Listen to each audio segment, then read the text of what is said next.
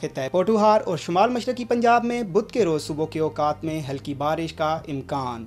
وسطی پنجاب، صحرائے تھل اور زیریں خیبر پختونخوا میں آئندہ تین روز کے دوران سرد اور خشک موسم کی پیش گوئی۔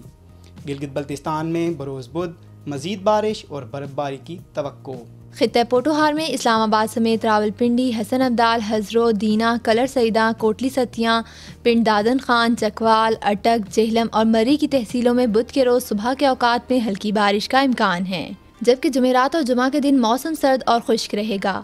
اس دوران مری اور ملکہ علاقوں کا کم سے کم درجہ حرارت نقطۂ جماعت سے کم، جبکہ دیگر مقامات پر دو سے چار ڈگری سینٹی گریڈ رہے گا۔ شمال مشرقی پنجاب میں گندم کے زیر کاشت تحصیلوں، گجرات، کاموں کی وزیر آباد کھاریاں حافظ آباد گجرا والا ناروال سیال کوٹ اور لاہور میں بدھ کے روز صبح کے اوقات میں ہلکی بارش ہو سکتی ہے۔ جمعرات اور جمعہ کو موسم سرد اور خشک رہنے کے ساتھ رات اور صبح کے اوقات میں دھند پڑنے کی توقع ہے۔ بیشتر تحصیلوں میں کم سے کم درجہ حرارت تین سے پانچ ڈگری سینٹی گریڈ رہنے کی توقع ہے۔ وسطی پنجاب میں گندم کے زیر کاس بیشتر تحصیلوں میں اگلے تین دن کے دوران موسم سرد اور خشک رہے گا۔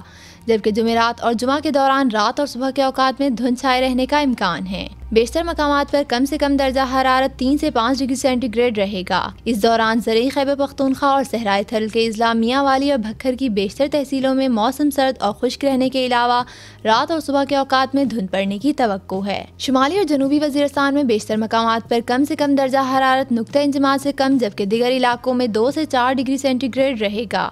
گلگت بلتستان میں بدھ کے روز مزید بارش اور پہاڑوں پر برف باری کی توقع ہے۔ تاہم جمعرات اور جمعہ کے روز موسم شدید سرد اور خشک رہے گا۔